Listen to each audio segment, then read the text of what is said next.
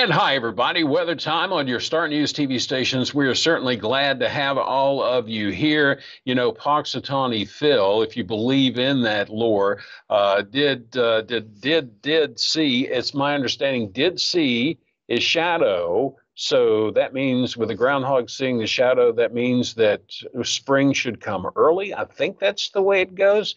Well, it looks like we may feel like springtime temperatures are on the way as we get towards the weekend. However, remember, we are still in early February. Uh, we're not by out of winter by any stretch of the imagination. So just a reminder before you get too excited when you hear some of these temperatures. But it is going to be nice. It will really will be for those of you who would like to get outside and kind of stretch your wings just a little bit. Tuesday, sunny high of around 49 degrees. That won't feel uh, very spring like, but uh, we will have some gusty winds too.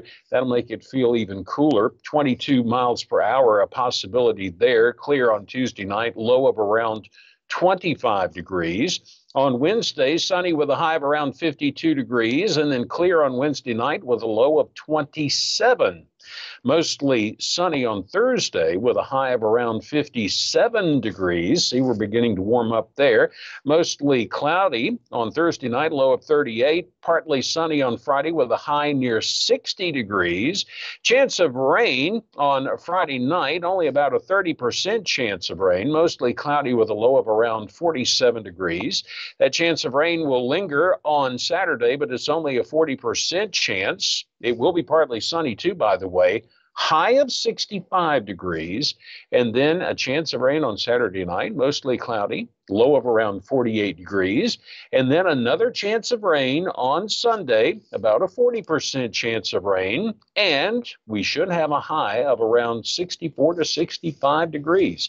So, again, some really nice temperatures on the way, uh, at least uh, more pleasant than where we have been uh, over the last month or so. Well, we keep you updated, of course, if anything changes. So stay tuned to Star News TV. Remember, we bring you the forecast daily. Breaking weather news on our Facebook page, facebook.com slash Star News TV.